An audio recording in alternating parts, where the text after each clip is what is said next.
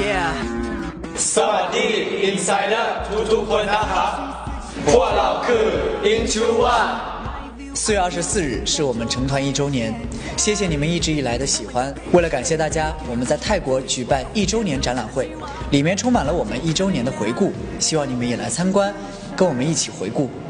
希望很快有机会去泰国跟你们见面谢谢。